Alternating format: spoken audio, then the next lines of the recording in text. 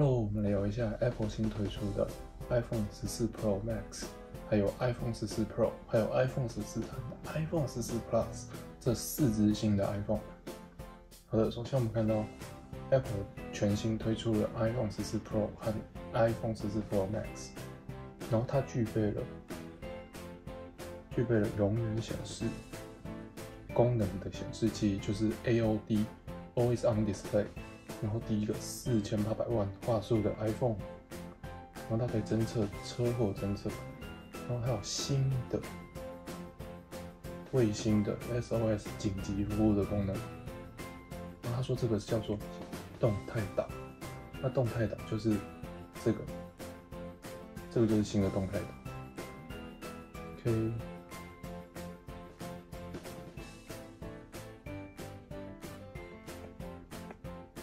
那所以这次的镜头就更凸了。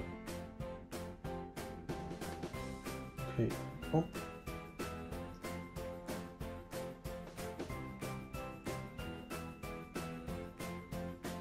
那它有四千八百万画素。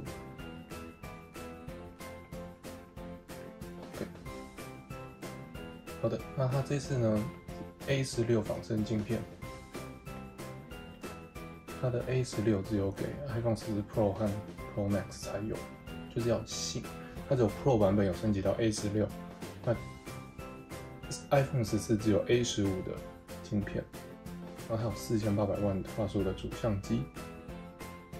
那这个四千八百万它可以使用四合一的感光元件，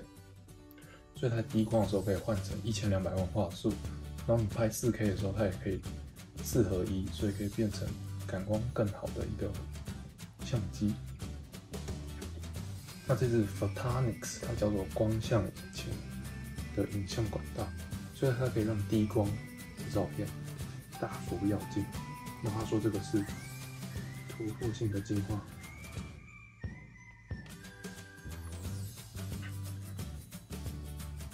好的，那这次它用卫星的 SOS 功能，还有车祸侦测来。对你的紧急状况来做提升，然后还有推出四个颜色：深紫色、银色、金色和太空灰。所以这次特别色是紫色。然后九月九号开始预定，然后九月十六就可以开始拿货喽。对，所以就这个礼拜我就可以预，这个礼拜我就可以预定，记得预定哦。好，我们看一下 Greg 说什么。他说：“我们每天都仰赖着 iPhone，诶，对，我是 iPhone 使用者。好，然后所以他把，好的，那这次就推出了 Always on Display 的永远显示和动态岛，也就是把原本的我们这个刘海凹下去的刘海变成是这样子，然后这个叫做动态岛。”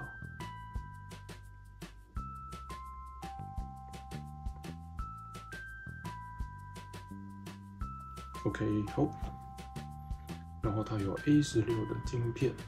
全天候的续航力。每次都说全天候，到底什么叫做全天候？嗯，电子配置的荧幕啊，我们可以看到动态岛是长这样子，就是这三个，就是动态岛。OK，的。然后我们可以看到说，它就把这次的动态岛，它有加了一些功能，就是。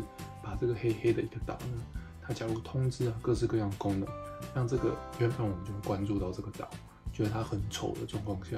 嗯，它加入一些 OLED 的一些功能，让你觉得可能不会那么丑，或是加一些功能给它。那我觉得这个是 Apple 很很好的利用它的劣势，就是它的挖孔会比别人大非常多，但是它用系统整合的方法把这个缺点把它避掉，就是说它想要维持有 Face ID 很好的。隐私功能，同时他又想要让这个动态岛功能可以让大家可以使用，所以要用这样的方法，就是把软体的功能整合进去，让你就会觉得说，哦，我知道它它一定要有挖孔，一定会丑，但是它有更多的功能，我觉得这是苹果厉害的一个地方。我们看一下显示器，那它这次的显示器呢，它加入了一个一赫兹的全新的刷新率，所以可以更省电的节能技术。就会更省电。然后它的 Always on Display 中文叫做永远显示，然后它可以让锁定画面变更实用，就是它可以锁定，同时它又可以显示照片，然后让人的肤色是很自然的。那这个荧幕是非常厉害的哦，它可以显示一赫兹，然后又有永远显示，同时还有超亮，还有两千尼特，比 iPhone 十三 Pro 亮了两倍。那这个我们在看 HDR 的时候就会非常的重要，因为有些爆炸场景啊，或是呃一些很漂亮的景色，它需要非常高的亮度，可以让你提升你感觉那个影像的真实感。好了，我们可以看到它这边，我们可以看到它有一些小工具啊，对，然后这里是隐藏的非常好。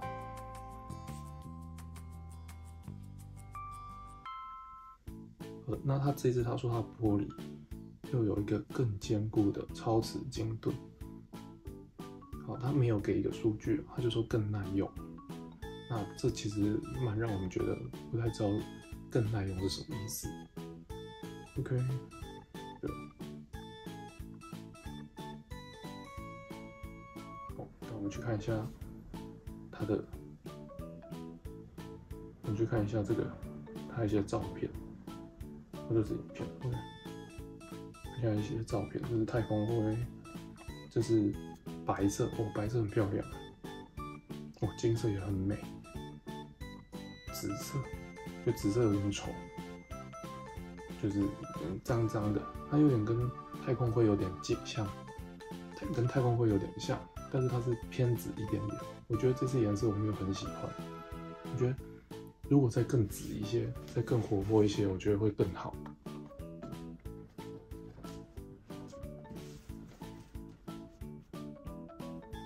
好，我们接着继续看下去。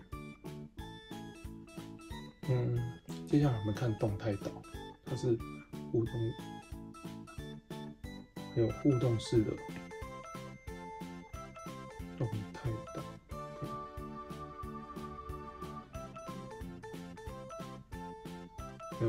式的使用体验。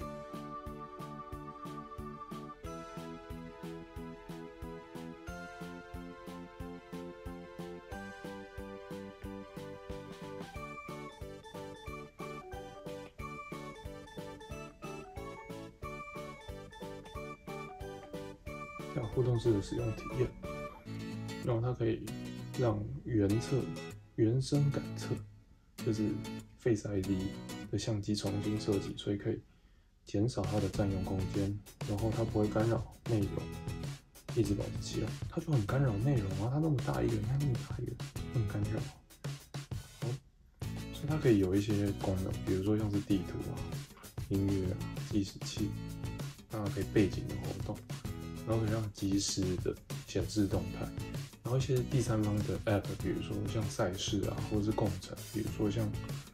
Uber 啊等等之类，它可以显示在这边。那我们看一下它的影片，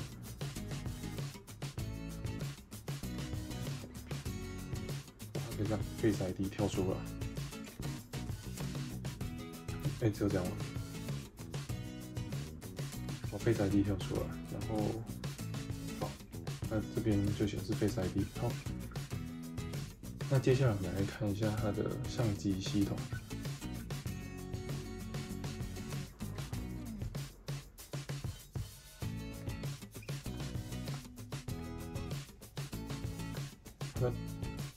说有一个光像引擎 （Photonics），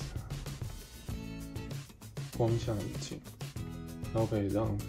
摄影更进步。OK，那它的说低光的光源的照片可以提高两倍，超广角和相机所有都可以三倍啊两倍的亮度。然后它可以说更厉害的 Diffusion，比如说有更多的独特细节啊、细部纹理等等之类。那我们看一下样张，哦，这样，哦，这个蟋蟀拍的很清楚，但是旁边还是会有一点失焦，但是这个蟋蟀其实拍的非常清楚。哦，这个毛发，看皮肤，哦，太强了吧，这个好强哦，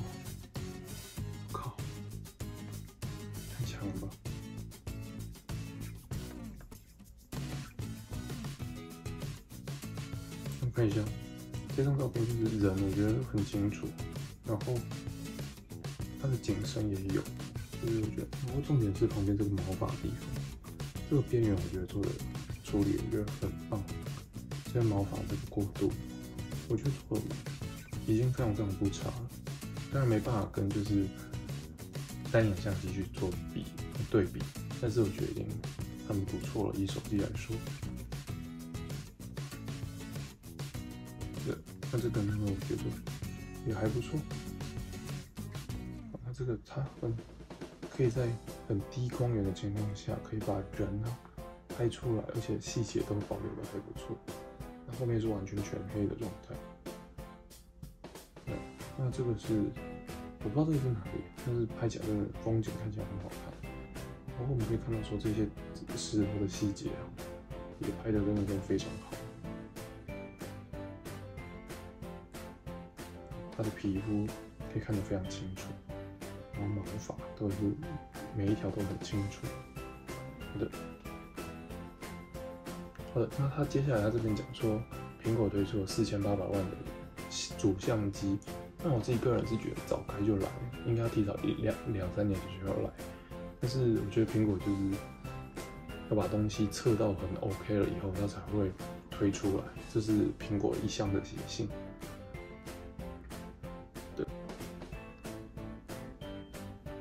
那他说他这次呢，他的可以达到二点四四微米的大像素，然后让低光的表现可以更好。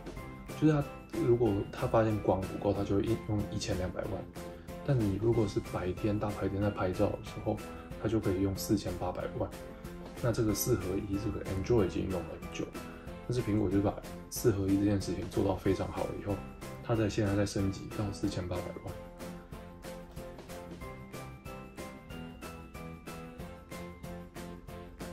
他说他照片可以使用 Pro RAW，所以他当然就希望说，有更多的专业用户可以拿他的 RAW 来做，呃，取代单眼相机啊等等之类。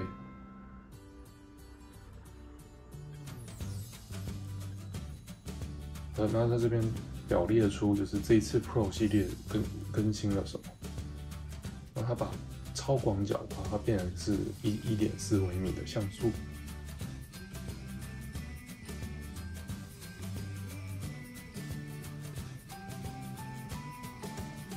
后呢，它有三倍的，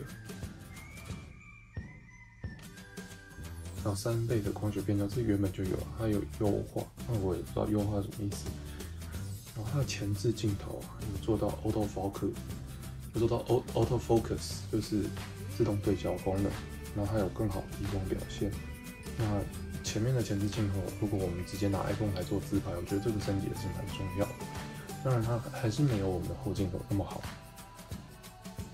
我们接下来看到说，它连闪光灯它都升级了。这次闪光灯它九个 LED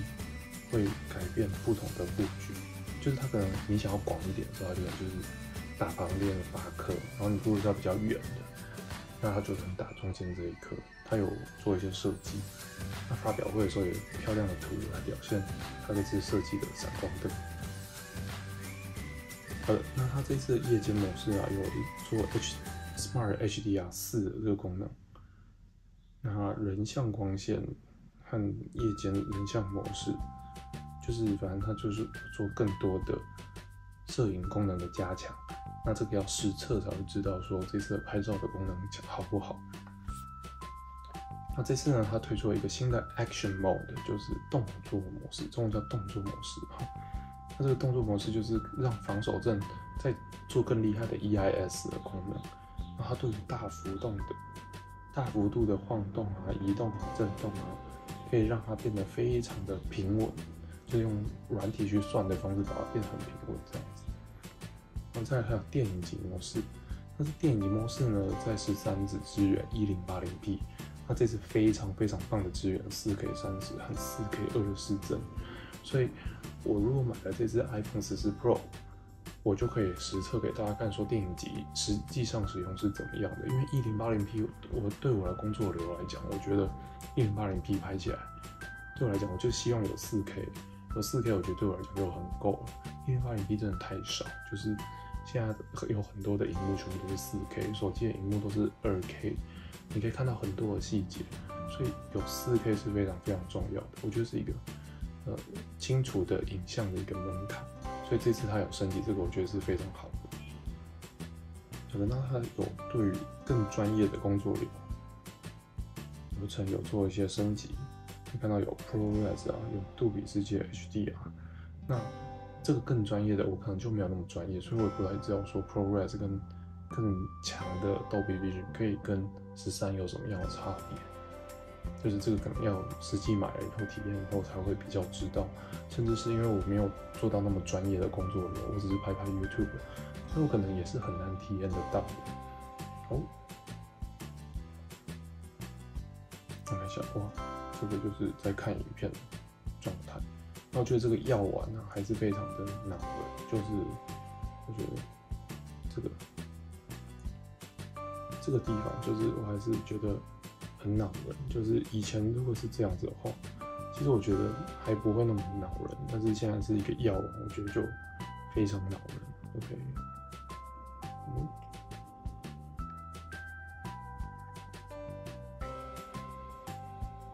那这部影片是想要。呈现的事情是他在跑动的情况下还那么平稳。我们再看一次，真的蛮强的。OK，好。那这在加入了就是车祸侦测。我在 reaction 里面就看到 Apple Watch 有车祸侦测，我就说 put in iPhone，put in iPhone，put in iPhone。他们真的放放到 iPhone 里面。好，那我们看一下这个车祸侦测有什么厉害的功能。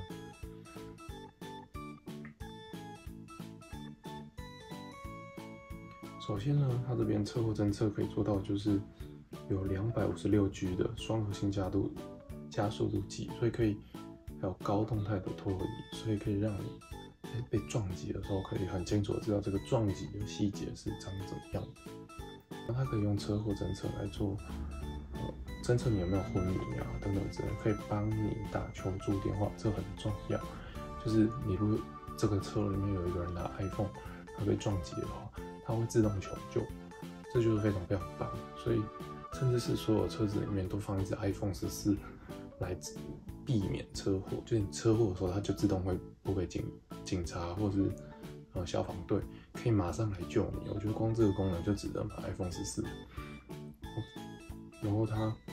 嗯在现有零组件基础下来做车厢压力的变化、气压计啊，然后用 GPS 感测。还有，甚至是噪音来做分析，然后还有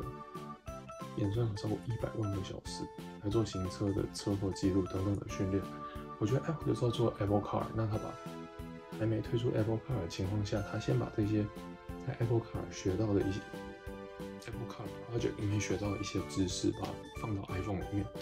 所以就算他 Apple Car 还没有推出，你就已经享有 Apple Car 相关的车祸侦测这些。的算法直接放在 iPhone 里面，直接让所有人都可以享受到这个功能。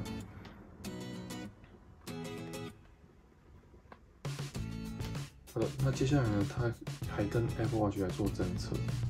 还做还用跟 Apple Watch 来做结合，就是可以无缝在这两种的装置来做嗯整合。所以就是讲这个讲的讲这个。把这个放在这里面，就是要你哦，你买 iPhone 以后不要觉得只有 iPhone 就够了，你还是要记得买 Apple Watch，两个加在一起会更强。OK，好。所以你如果发生车祸的话，苹果就会像这样子，就是会告诉你说，哦，你已经好像你已经被车子撞了，然后你要不要去求救之类。如果十分钟你都没有求救，它就自动会找呃消防单位等等之类来救你。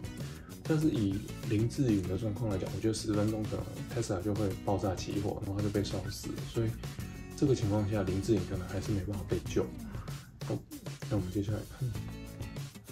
那这次地轨卫星呢，它是把它使用在呃 SOS 服务相关的。OK，那你如果是美国跟加拿大的使用者，你在今年十一月就可以使用 SOS 的服务，然后。只服务首两年免费，就是呃这两年就是二零二二年到二零二四这两年是不用钱的，之后可能就收钱这样。我们看一下，就是它会要让你去找卫星，然后嗯，要找不同的方向啊，然后可以传讯息啊，然后可以让大家知道说哦，你在山上哪个位置，然后可以传递一些嗯资料讯息啊，它会有给你一个选单，所以可以节省传输讯息的流量，可以让大家知道说哦，你现在说需要什么服。需要什么协助？比如说你需要食物啊，你需要保暖设备，或者你需要有人直升机来救你，那用这样的服务都可以确保你在美国和加拿大在登山的时候需要求助的时候可以有人来救你。Pro 跟 Pro Max 啊，它搭载的是 A 十六的出 A 十六仿生晶片，那他说他遥遥领先竞争对手，我觉得这个要看啊，就是说。十一月如果高通推出了新的八 Gen Two，搞不好就会超过 A 十五也说不定，就很难说，就要看高通有没有三纳米。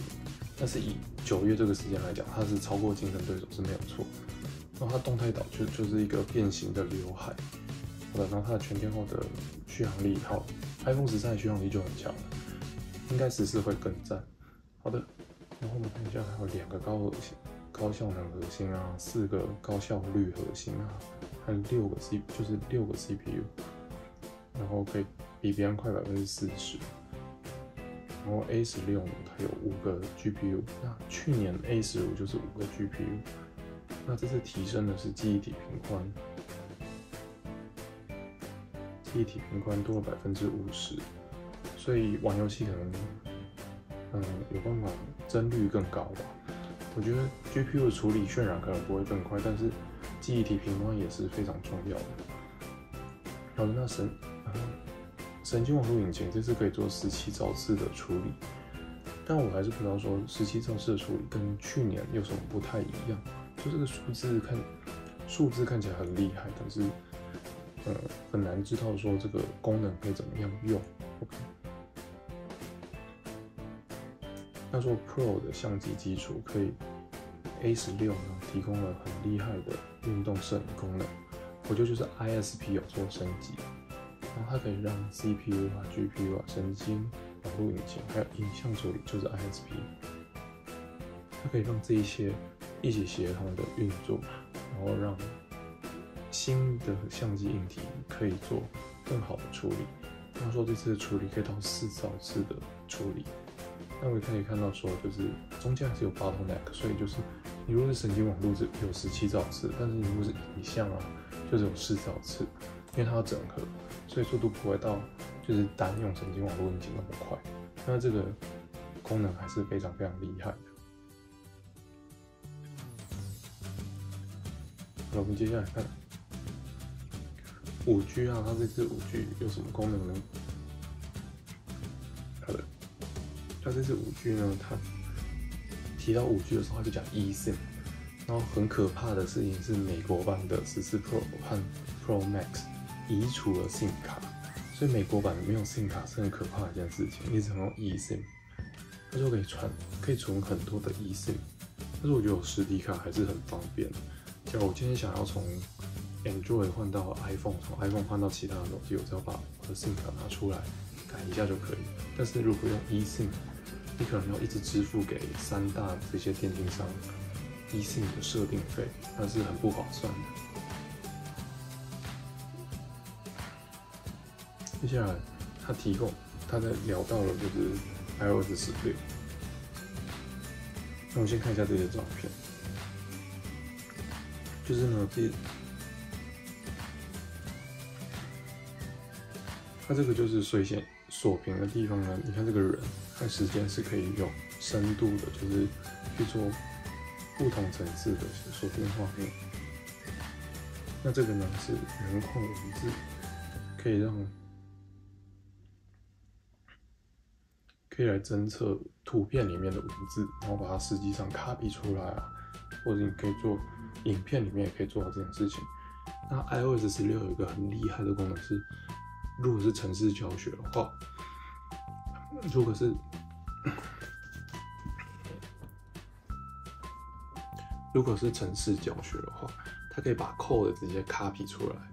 然后让你就是直接 copy code，然后贴到 IDE 里面就是正确的 code。我觉得这个功能太厉害，就是像我在拍 YouTube 的教学影片，那我的 code 在 YouTube 里面你就可以直接 copy 出来，然后直接 paste，你就不用自己练习打字的。我觉得这对于呃就是有很多图片上面文字来讲，学习上面是很有帮助的。同时要偷别人 code 也是太简单的一件事情。然后他这边也讲到说，你可以用快速的会换算汇率啊、翻译文字等等功能。那这个 iOS 十六里面还有一个最强的功能，就是这个图像查询，就是你可以直接把，比如说图片的狗啊、人啊，直接把它拖出来，就变成一个 GIF，就是或是表情图包这样子，所以可以让你就是很方便的，就是把图片拖到讯息里面，或者拖到各式各样的 App，然后。把照片的人直接去背，你只要手指这样一拖就好了。以前我们都还要，比如说像 Mac 里面去去背啊，或者用 App 把它去背啊，这是不用，系统直接这样一拖就可以把这个主体直接传给大家或者分享给大家这样子。那我们现在看一下文字的部分，我们可以看到这边，iOS 十六的功能很特色。在锁定画面的全新的沟通和智慧分享功能，iPhone 来改变使用者体验 iPhone 的方式。就你的锁，嗯，你的锁定画面现在可以有很多个锁定画面，你可以去滑动不同的锁定画面，然后有不同的模式和不同的 mode。这是六月六号 WWDC 的时候提供出来的新的 iOS 的功能，这功能我觉得非常棒。那它每一个手机画面，它都可以去做个人化，然后是很美观而且很实用的。然后它可以把优美的照片主题呈现在时间的前面，就是把主体抽出来放在前面，时间在后面这样，然后启发锁定画面的灵感。对然后它会把，它也可以用天气来当做背景图片。甚至是太阳系的天文那你可以用讯息的方式让使用者哦，讯息做一些提升，就是可以编辑或者可以编辑或是收回啊传送的讯息。但是如果是如果有人在旧的版本的 iOS 的话，它是没办法收回讯息的。那这次 iCloud 的照片图库啊，它有新增了一个共享的图库。所以，如果你的家人可以更方便的去分享照片，就是他应该就会非常希望你去订阅 Apple One，然后跟家人一起都用 iPhone，然后就可以新增图库啊。那我自己有订阅 Apple One 这个服务，或者是跳到美国去，然后使用美国的 Apple One，我自己遇到一个问题是说它只有两 TB，所以对我来讲是不太够用的，因为我一直在录影，我说我是用 iPhone 去做录影，两 TB 对我来讲真的太小了。所以我觉得，如果可以更大一点，会更方便。那原库文字更强大，可以识别影片里面的文字啊，那种快速转换汇率、翻译文字，那这些都是很实用的，平常会遇到的功能。对于图像查询，它加了一个功能，就是你到长按就可以把主体把它拉出来、提取出来，放到讯息的 App 之中。我觉得这个功能太棒了。